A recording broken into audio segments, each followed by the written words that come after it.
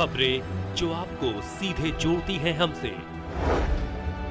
जिनका आपकी ज़िंदगी पर होता है सीधा असर। खबरों की वही तस्वीर। बिना बदले, बिना डरे। जज्बा सच का लिए। सच दिखाते हैं। जहाँ देश में मणिपुर हिंसा को लेकर के घमासान मचा हुआ है, वहीं हम आपको बता दें दिल दहला देने वाली घटना उत्तर प्रदेश के प्रयागराज से आ रही है, जहाँ महिलाओं को यूपी पुलिस ने निवस्त्र कर उनके साथ अश्लील हरकतें की है और ये गिनौनी वारदात उत्तर प्रदेश के प्रयागराज में ही घटी है। नमस्कार मैं अमित कश्यप और आप देख रहे हैं हंगामा टाइम्स न्यूज़। हमारे साथ में पीड़ित वो महिलाएँ हैं जिनके साथ में अब अभद्रता की यूपी पुलिस ने और आखिरकार यहाँ उत्तर प्रदेश के मुख्यमंत्री के पास आकर किस तरीके का उन्हें आश्वासन मिला जानते हैं? क्या नाम है आपका? अंशु सोनी। क्या हुआ आपके साथ? यहाँ अंदर जाके अंदर जाने के बाद यहाँ जो आप गुहार लगाने आई है क्या मामला था? एप्लीकेशन लिए बोले दिखवा रहे हैं। तो ये जो प्रयागराज का कौन सा थाना था क्या पुलिस वालों ने किया था थाना उतराव है और जिला प्रयागराज लगाया जाता है। हम लोगों के साथ बहुत गंदी हरकत हुई। मेरे घर से उठा के हम लोगों को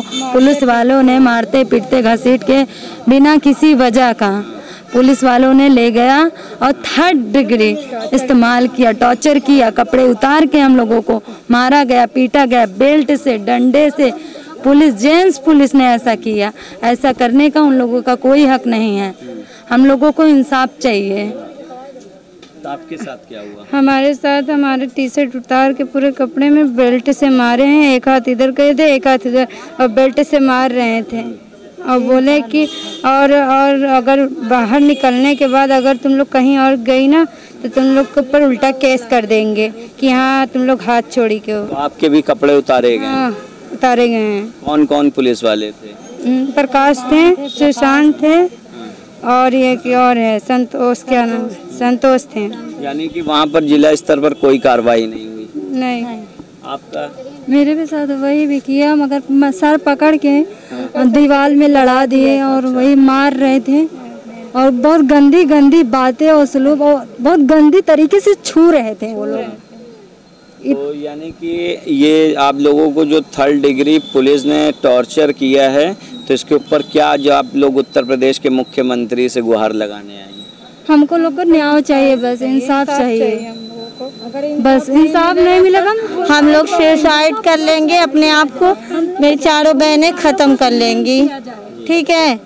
और जो प्रशासन प्रशासन, उसकी जिम्मेदार शासन प्रशासन होगा योगी योगी जी होंगे, जो कि मैं यहाँ से जा रही हूँ। अगर मुझे यहाँ से न्याय मिल गया तो ठीक है।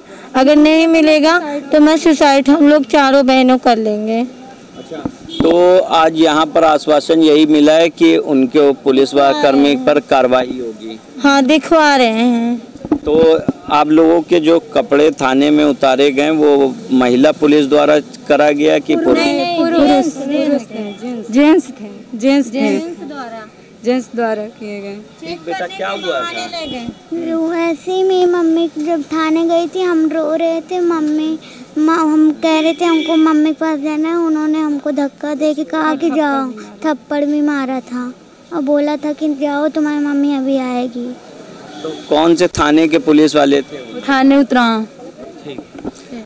तो ये सब हैं वो पीड़ित महिलाएँ जिनके साथ में मणिपुर हिंसा जैसी घटना को यूपी पुलिस के थाने की पुलिस ने इनके साथ में घटना को अंजाम दिया। इन्हें निवस्त्र कर किस तरीके से इनके साथ में बर्बरता की, किस तरीके से इनको थर्ड डिग्री टॉर्चर दिया और जहाँ देश में मणिपुर हिंसा में महिला को नग्न कर कर खुलेआम भगाने का मामला, जहाँ विपक्ष इसके ऊपर, मोदी सरकार पर हमलावर भी होता है तो वहीं हम आपको बता दें, उत्तर प्रदेश की योगी सरकार में इस तरीके का मामला, जहाँ यूपी पुलिस खुद महिलाओं के कपड़े उतार कर उन्हें थर्ड डिग्री टॉर्चर देकर उनके ऊपर अत्याचार कर रही है।